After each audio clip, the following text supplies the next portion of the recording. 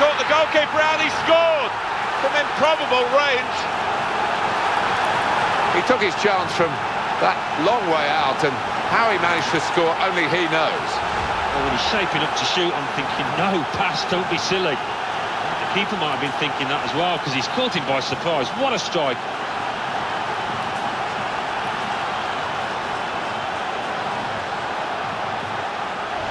Well, the opening goal, and we've had to wait until the second half to get it.